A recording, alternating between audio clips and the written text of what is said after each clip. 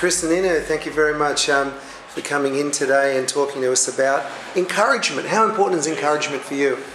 Uh, big part. Obviously, uh, you can't you can't do anything by yourself these days. You've got to, Yep. got to have the help of your fellow peers, your family, your friends, and those around you. And encouragement plays a big part in that. So. Yeah.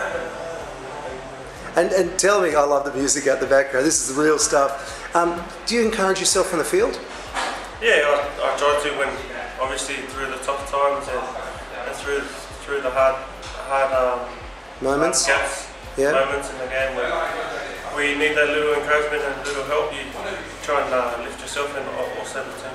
What kinds of things would you say to yourself? Just really just get over it.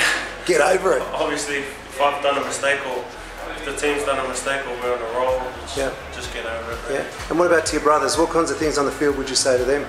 Oh, I just if I can see my, my forwards are tired in the middle, I, I just try and encourage them, help them, help them, encourage them to stand up, keep moving, Yeah. push forward, just, just little stuff like that. I know, I know it might be little to me, but I know it'll make a big difference to, to our big boys.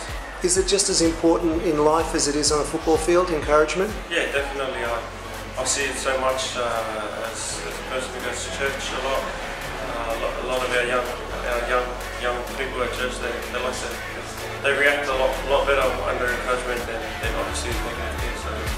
Well, thank you very much for your time today.